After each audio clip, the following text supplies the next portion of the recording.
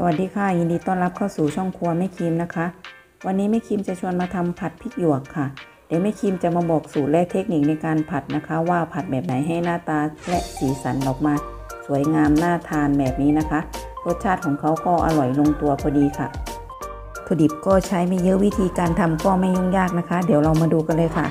ค่ะ อันดับแรกเราก็จะใส่น้ำมันหนึ่งทัพพีนะคะ เราจะรอให้น้ำมันของเราร้อนค่ะ จากนั้นเดี๋ยวเราก็จะนำกระเทียมลงไปผัดนะคะ น้ำมันของเราเริ่มร้อนนะคะแม่ครีมก็จะใส่กระเทียมลงไปผัดค่ะแม่ครีมใช้กระเทียมอยู่ที่ 4 กีบนะคะ ค่ะเราก็จะผัดกระเทียมให้สุกเหลืองหอมดีนะคะ ในระหว่างการผัดกระเทียมก็ให้เราหมั่นคนด้วยนะคะ กระเทียมของเราจะได้สุกทั่วกันดีค่ะ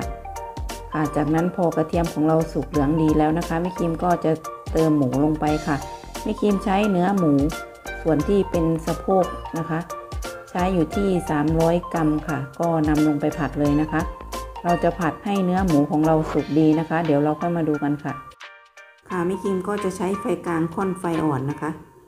ค่ะเราผัดหมูมาจนสุกดีประมาณนี้แล้วนะคะแม่คิมก็จะเติมซอสหอยลงไปค่ะแม่คิมจะใช้ซอสหอยยี่ห้อนี้นะคะ ใช้อยู่ที่ 2 ช้อนโต๊ะค่ะแล้วก็จะใส่ลงไปผัดนะคะ หลังจากนั้นแม่คิมก็จะเติมผงชูรสนะคะ ใช้นิดหน่อยนะคะ ถ้าเกิดใครไม่ทานก็ไม่ต้องใส่นะคะ จากนั้นก็จะคนให้ส่วนผสมเข้ากันดีค่ะ ค่ะพอเราผัดส่วนผสมเข้ากันเล็กน้อยแล้วนะคะแม่คิมก็จะมาใส่พริกแกงเผ็ดนะคะแม่คิมใช้อยู่ที่ 1 ช้อนโต๊ะพูนๆประมาณนี้นะคะ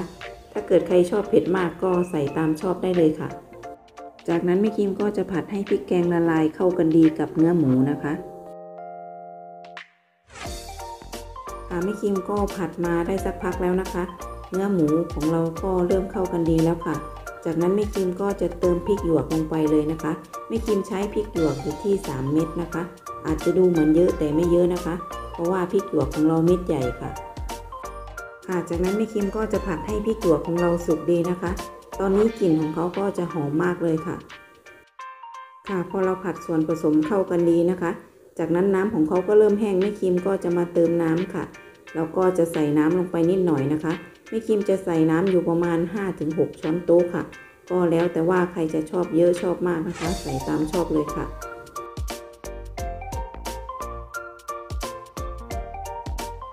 พอเราเติมน้ำลงไปนะคะแม่คิมก็จะคนเล็กน้อยค่ะ จากนั้นก็จะรอให้น้ำของเขาเดือดขึ้นมานะคะ พอน้ำเดือดขึ้นมาแม่คิมก็จะเติม น้ำตาลทรายลงไป 1 ช้อนโต๊ะค่ะ แล้วก็จะตามด้วย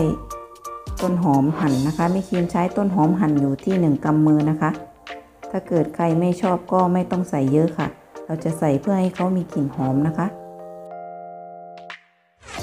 ค่ะแม่คิมก็จะมาชิมรสนะคะว่ารสชาติของเขาจะออกมาประมาณไหนนะคะ รสชาติก็จะมีความอร่อยลงตัวพอดีนะคะ มีความหวานของต้นหอมค่ะ แล้วก็มีกลิ่นหอม ของพริกแกงด้วยนะคะ ค่ะแม่คิมก็จะปิดไฟแล้วตักเสิร์ฟเลยนะคะ เสร็จพร้อมเสิร์ฟค่ะสำหรับผัดพริกหยวกนะคะ ผัดยังไงให้หน้าตาของเขาออกมาน่าทานก็จะประมาณนี้นะคะ สีสันของเขาก็น่าทานด้วยค่ะ รสชาติของเขาก็จะมีความอร่อยลงตัวพอดีนะคะ ลองไปทำทานดูค่ะ ค่ะ ถ้าชอบคลิปนี้ก็อย่าลืมกดไลค์กดแชร์กดติดตามให้ครัวไม่คิมด้วยนะคะ เพื่อที่จะได้ไม่พลาดคลิปใหม่ๆ และเป็นกำลังใจให้แม่คิมทำคลิปต่อไปด้วยค่ะ เจอกันใหม่คลิปหน้านะคะสำหรับวันนี้สวัสดีค่ะ